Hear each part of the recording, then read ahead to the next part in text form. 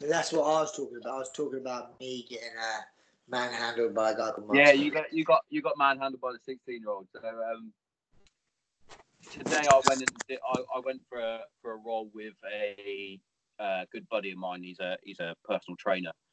I believe he's a, a purple or a brown belt. I'm not 100 percent sure, but I've literally rolled a handful of times, and he, he he's about 60 kilos, and I'm a, I'm pushing 90. I'm I'm a chunky little fucker at the minute, and it was like it was the other way around.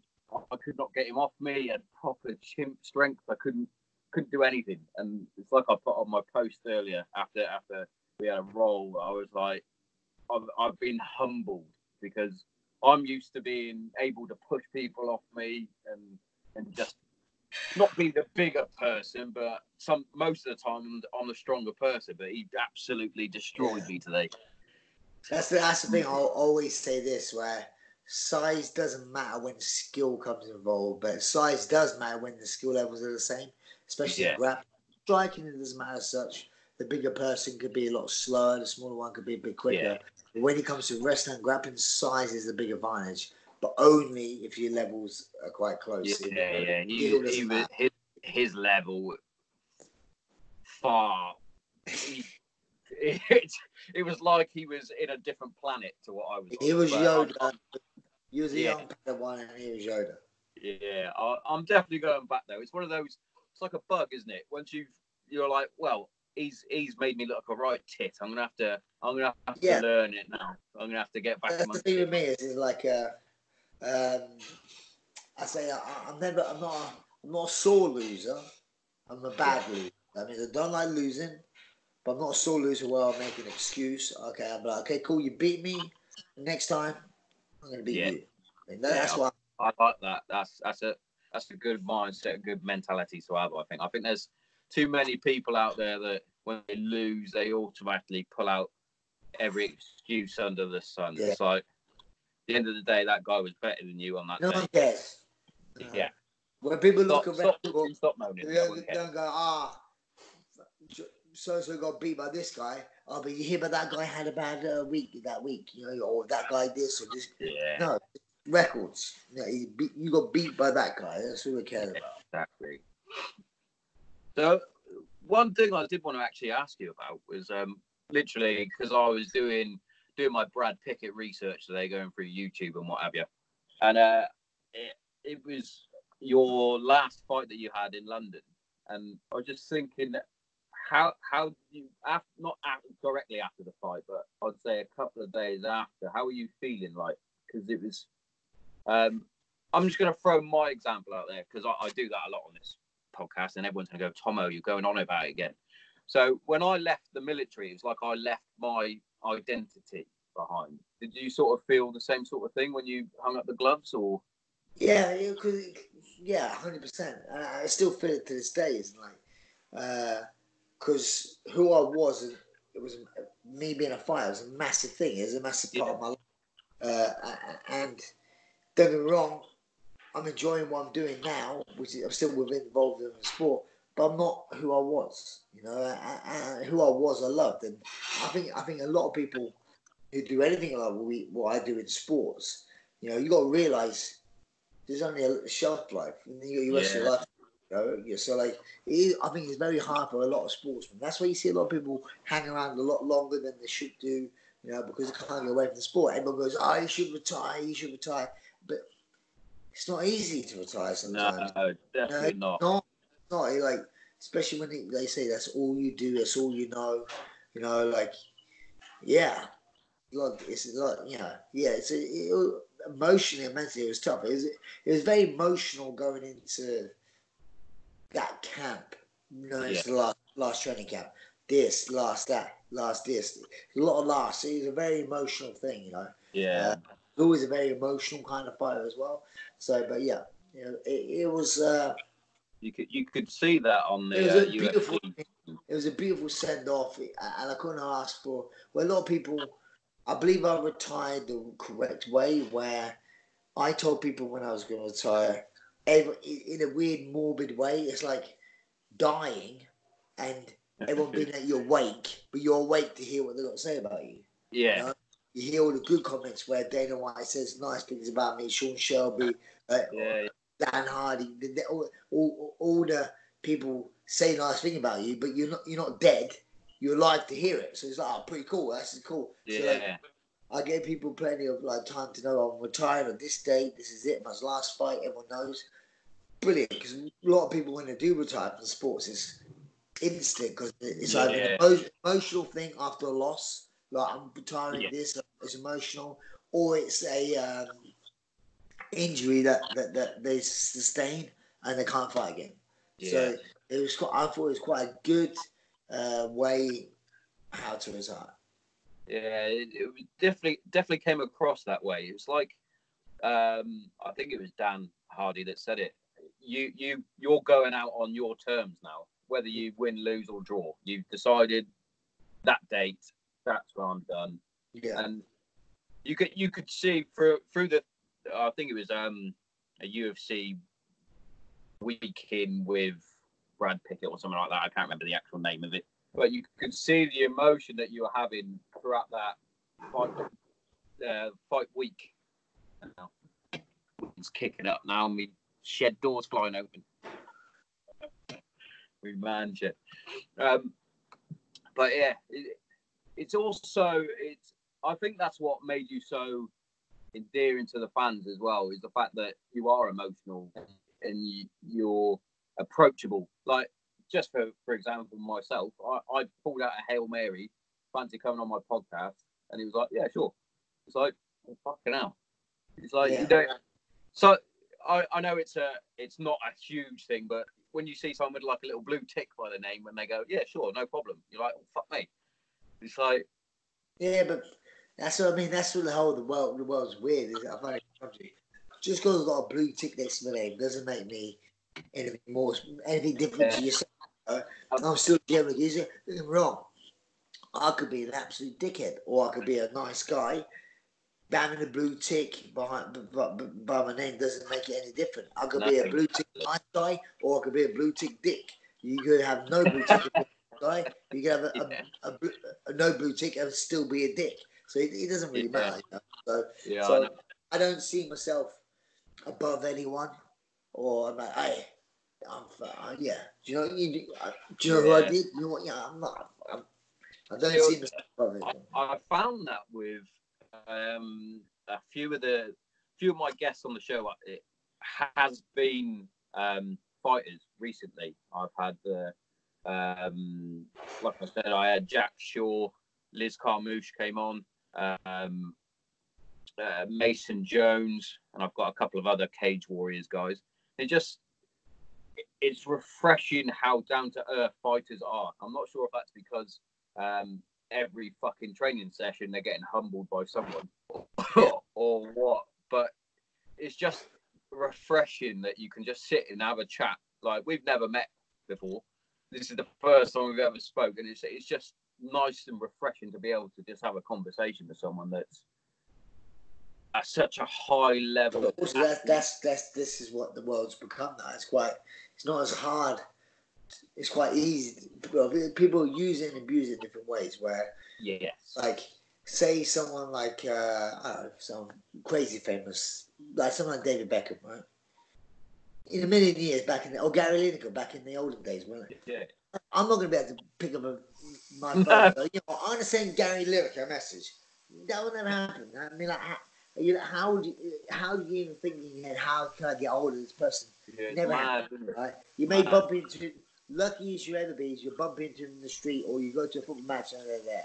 But nowadays, it's so much, it's so easier to contact high level people in certain ind- industries, which is good in so many ways because people Yeah. use it for a good way, but also some people use it to abuse it.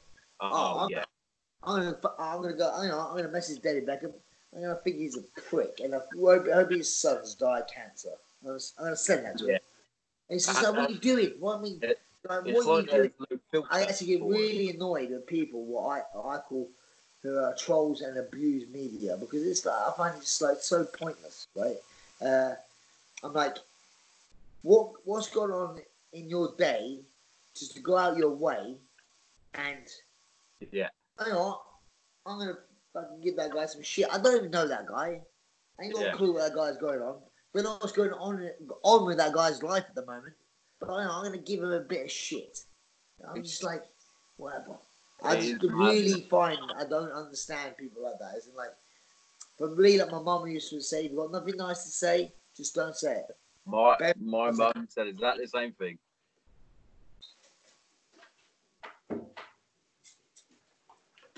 I hear my, my wife doing Yeah. it. I know, I know, I know exactly what you mean with that as well. It's like, why do you wake up in the morning and go, "Do you know what I'm going to do? I've seen Brad last fight. What I'm going to do is I'm going to critique him, even though I've never done anything remotely." Oh, why, why didn't you block that kick, Brad? Yeah, Alright, yeah. you get, you get in. Just that's what it is. But but someone will do that. Yeah, I'm lucky if I last night, but you should have blocked it. Oh, just shut up. You know, it's me getting a punch in the face for your entertainment, and you want to give me shit. yeah. It's, it's, it's just bizarre. I think people who troll, people who send like negative shit, is they're just not nice people in general. I don't think we. I, I, I had it when I first started my podcast, and the reason uh, why I started it was because I was suffering with uh, depression and, and anxiety problems, and I had no way of communicating. Um, I was I'm never any good at writing stuff down, so I thought I'm not going to do that. What I'm going to do is I'm just going to air it. I'm going to show people that it's okay to talk about it. As soon as I did it, I was getting messages from people who I served with in the military saying that I was lying about it and that I shouldn't be doing it and all this. I was like, well, who the fuck do you think you are telling me that? Like, it's Yeah. make worse, make things worse. And for also, how could they? How could they comment on how you feel because you're feeling? Exactly. That's, that's, that's exactly what my brother was saying to me. He'd, he'd phone me up and say, "Look, Tomo, oh, don't worry about it. Just keep doing what you're doing. You, what you're doing is the right thing to do." I was like, "All right." Then I'd get another fucking tweet pop up, and it's like, "Oh." Then it sets me back again. It's like, Jesus Christ. Basically, that's what, that's what that's the thing, isn't it? Like I said, it's the whole loose day and age. I think there's more more mental health problems nowadays than ever. It's apparent. Reason, reason I think there's, I think a lot of it is down to social media, um, because it's so easy to see negative things, and also depends on how you are as well. Say if you're on social media, say you have, uh, give me an example, like some friends some you just look on social media on Instagram stories, and your friends went out last night and had a meal. Why didn't they invite me? What did I Yeah. do wrong? What's going on? What what's see? It's, you get all this anxiety build up, and if you back in the old days, you would never have known that, so Nah, you wouldn't have even thought about it. It would have been a yeah problem. So exactly. that, that's the one thing. And also, like I say, like say you have a girlfriend, you split up. Back in the old days, the best thing to do is just separate. Don't Yeah. think about them. Get on with your own life. Not easy nowadays. You're just gonna No. see what they're doing all the time. Social media's around. You know what they're up to, who they're seeing. It's just like so. I think social media now is a big reason for mental health mental health issues. 100%, hundred percent on that one, definitely. Like it, it's it's so easy for people to get caught up in it. Like uh, she's gonna hate me for it, but my missus is what is one for it, where she'll see some of her mates that are uh, slimmer, got their lips filled, got fucking hair extensions, and she's like, "Why can't I look like that?" It's like, well, for a start, I don't want you to look like that. And two, they've probably got a filter on, and there's a load of Yeah, bullshit. exactly. It's like I think you're a beautiful fucking person. That's why I married you. Yeah. Um, and it's just trying to keep her her spirits up. That sort of thing it is. But married life, in it. That's what we got to Yeah, do. that's the thing again with social media. You have a lot of celebrities really abuse their uh, position. Uh, it's been all over the internet recently. You know, where people are like promoting things that don't even use, don't even know what it is. You know, Yeah, like just like they're just like, yeah, buy this and lose twenty five pounds in two weeks. yeah. What is it? It's Yeah, we we we had something similar to that. At, yeah, on, on the on the school run. Um, on the school run, one of the school mums. I'm not going to name her, obviously. Um, not that she listens to my show, but whatever. Um, she was pr- promoting those um, Juice Plus things, like, and I, I was like saying to me, Mrs. I'm like, yeah, they're all good, they're fine because you're getting your vitamins, minerals, all that sort of thing from the shakes. But on, she's not going to lose any weight or do anything differently if she doesn't go to the gym and eat correctly as well. If anything, she was eating wrong. That's why she keeps getting bigger. But she post up a uh, before and after pic, and I wasn't like being nasty or mean. I was like, she hasn't changed. There's no. Yeah. It's like a. It's like a.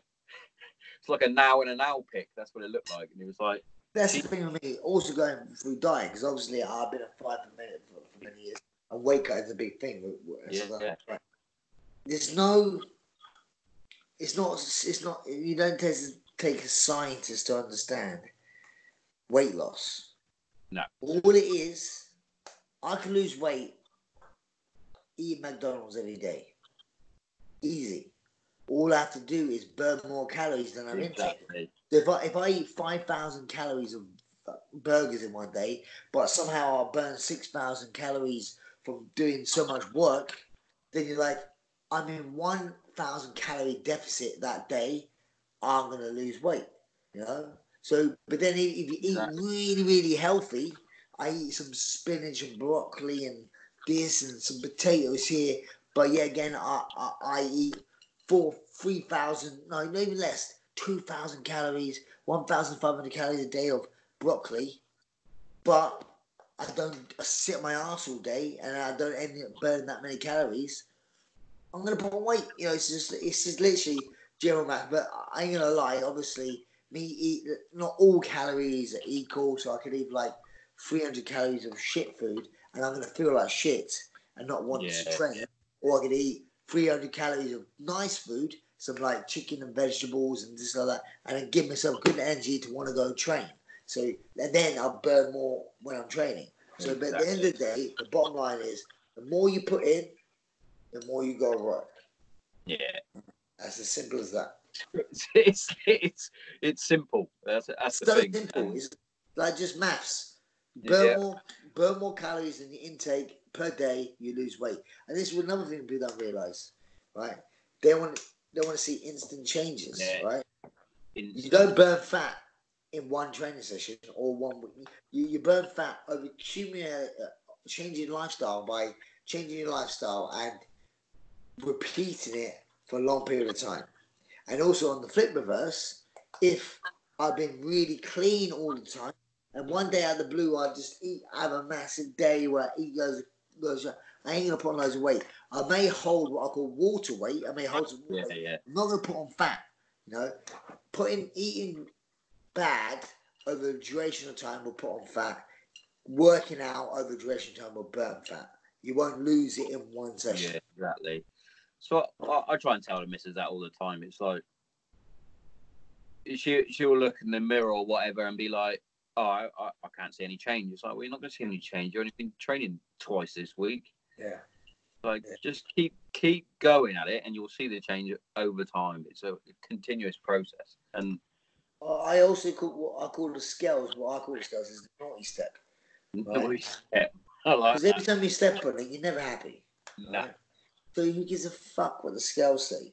Unless you're a professional fighter, then scales means something because you're fighting at weight classes. Yeah, Other than- yeah. You don't. I, can't remember the last time I stepped on a scale now, because I don't care. It's how I feel. that the same? Yeah. how I feel. You know, it's I just how I feel. You know, you you know, you can fluctuate three pounds in a day just by what time of day it is, or you're a woman, you, you're a bit bloated because you're on your period, or or something like that. You know, like yeah, yeah. it, can, it can vary, but then like this is how you feel mentally for it. You know? Exactly. And I, I'm a, I'm a big I'm a big believer in in uh, fitness being a, a huge part of um, mental um, Yeah. health and, and well being as a whole. Because you might hate it for the hour, two hours, or whatever you're doing while you're working. It might be the most horrendous workout you've ever done, but by the end of it, you're like, "Fucking, I needed that. I feel great." And that's what a lot of people don't realise. They get themselves all worked up oh, I've gotta go and train. Oh, yeah, but you're gonna fucking love it. But finish. also, it's, it's a double-edged sword where I find that if you train, when you finish training, you make better choices not eating bad. Because you're like, oh, I just trained, oh, oh, I'm going to eat something nice. And that's what you do. If you don't train, you sit on the couch, you just binge. Well, eat this. And you, yeah, So, like, it's always a double ends. Like, I find when I'm training, I'm eating better. When I don't train, I eat crap. yeah. It's like um, because I I take like I said earlier, I take um uh, boot camp style trainings every every so often when I get a phone call. Tom, would you fancy taking a train? Yeah, I'll take it. And I tell them that they, as soon as they see my name on the website that I'm taking a session, they automatically, I'm pretty sure the numbers go down because they, they know I'm going to beast them for an hour. And I say it at the start of every session, you're going to hate me for this hour, but you'll thank me at the end.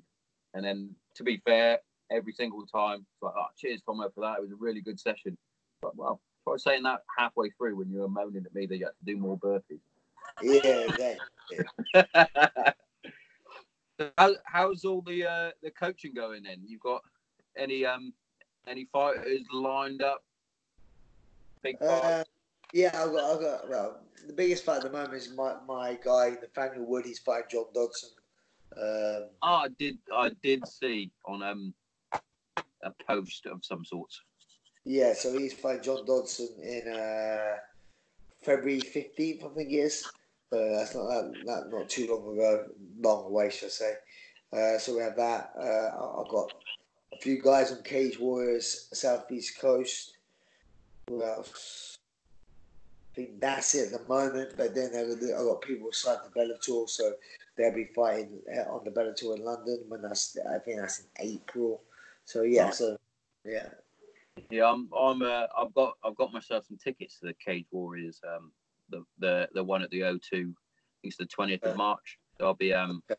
I'll be going to that. It's my first proper event that I'll I'll be seeing live. I saw a, a few um like sort of regional sh- shows before. Um, a mate of mine from back home was fighting, uh, but this is the first first big one. And uh, Okay. I'm actually Right. I'm buzzing for it. I'm really am. I I, I Yeah, love it. announced on the card. Say again. Have you got any fighters announced on the card or? Uh, uh, yes. Um, oh, wait, I'm using my phone to record. So Mason Jones is fighting on the main card. I'm not sure who he's fighting. Um, and oh, what's his name? The Scout lad. Paddy? Yeah, Paddy That's- yeah, that's the guy. I think he's um main event. I think. I think it's a title fight. Okay, nice. Yeah, so it'd be um good event to go to. I think.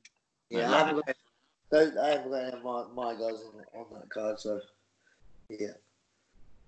Sweet. So how are the um how the nippers then? Are they good? Going fast. Uh, they're, they're fun. A, a boy and a girl, have you? Right? Well, my, a buddy who's just turned, he turned four in September, and uh, Poppy who turned one in December. Nah, shit. I, I saw that um, clip you put on your story of her coming into your office. I think when you were you were doing so, I was like, ah, that is she's the cutest, mate. She's brilliant. She's, she, she's, she's a good kid. She's very funny. Has, has Buddy got a little uh, Pickett hat? No, we haven't got one of those actually. No, I haven't. No, Uh, we, we need to get one. He's had one Yeah. back when he was a baby, but no, we, we, we, we need to get one. Yeah. Yeah, that's got to be like a, a, a statement. That is. Yeah, but I don't, I don't know if he's gonna. He's interested a little bit now, but yeah, I don't, I don't know if he's gonna be interested in fighting. He's he's more interested in playing chess. That's what he wants to do at the moment. Like chess was that? That's what he plays. Yeah, that's what he Oh, just brilliant. about chess. Yeah. Yeah. One of one of my one of my uh, one of my close mates, his, his son's really into chess. I was like, random. Don't tend to hear that much these days, like No, chess. yeah. Like, like we read the books before he goes to bed, and he wants chess. Wants us to read the chess plays. What are you on about? we got some chess gonna be a Reading. tactics before he goes to bed. You know, what am I doing here? How, how, to castle? When to castle? When you know, you know. Brilliant, brilliant. Oh, that's, that's amazing. I've got I've got two daughters, so I've got two little angels. Saying. Uh, I've got an eight-year-old and a five-year-old. Okay. Should Okay. I- and it's more like I've got an 18 year old and a 15 year old at the minute with their attitude that they've got. yeah, it's, it's brilliant. But to be fair, they've both just um gone up. Uh, well, the eldest has gone up two levels in a in a ballet, and the youngest has gone up another level. It's like you know, Okay, good. Yeah, and then the then the eldest is starting gymnastics fucking next week. Shit. Okay. She's yeah, she's been bugging me for years to get her into gymnastics, and I was like, oh, it's one of those. It's like, oh, we will when we've got the finances right. We can get you in, and then it's trying to get the placement. And luckily, we got this email through. Oh, she's got a, a, a taster session placement. Oh, oh, fucking brilliant! I can give her some good news. Get her to burn off some more energy. She, Yeah. my, my eldest is funny. She's completely, she's she's got hundred percent my attitude, where she's very sarcastic and dry and and that. But body shape wise, she is completely the opposite of me. She's all limbs, and long legs, long arms. There's me, there's me, short and stocky. it's brilliant. Kids are brilliant though. Yeah, oh. it's, it- it's fun. I, I guess it was now. I guess Christmas is pretty good with their ages as well. Yeah, definitely. We we did manage to spoil him a little bit this year, which which was nice. Um, got him fucking Nintendo and all that sort of stuff. So it's it's, it's more for them. Me, me and the missus sort of went without so that they could have um Yeah. they could have more, which which is how it should be really. Christmas isn't for I. I don't have a Christmas anymore, really. Nah. but and and to be fair to the girls, it was it was amazing for me because I I um my my normal job I, I do security work. So Christmas Day I was working, and I started my shift at six o'clock, and they got up. They set I don't know if they set an alarm or if they were just super excited, but they were up at half past four. It woke me up. And they went, "Oh, Daddy, we want to, we want you to see us open the presents." Oh, that's brilliant. That's made my day even though I had to go and sit on a barrier for 12 hours, this has made my day. I I used to wake up super early when it was Christmas. Oh, 100%. I, I'm, even now, I'm still I'm still a big kid. I'll be going up to bed. I'll be like, "Oh, wonder what the missus got me. but, but I know the missus would have got me the same as you got me last year. Nothing. Nah, she actually, she, my wife actually got me that Stranger Things Lego for Christmas. Uh, yeah. That's br- uh, honestly, I'm gonna have to. I'm gonna ping my um, my niece a text when when we finish this. I'm gonna tell her to get it because she love her and my brother. They love Lego. I haven't got the patience for it, but they love it, and she is so into Stranger Things. It's unreal. So Such, such a cool, it's, it's such a cool piece as well. yeah, I'm gonna I'm gonna I'm gonna get her to get that. In fact, I might even get it for her because I'm nice like that. There you go. right. I think, Brad, I don't want to keep you too long, mate. Can see you, uh, you're yawning and that. It must be knackering all the training, yeah. Put Put, parenting. the kids- put the kids down now. I'll be going to bed pretty soon. Yeah, I know exactly what you mean. I think mine, yeah, mine should be flat out now, hopefully. Yeah. So, uh, but once again, mate, thanks for coming on the show. It's No been a, a fucking honour to have you on. Uh, Appreciate brilliant it. show. All right. Yeah. Thanks a mate. Cheers, bro. Cheers. Take care, my friend. And you, mate. Bye bye.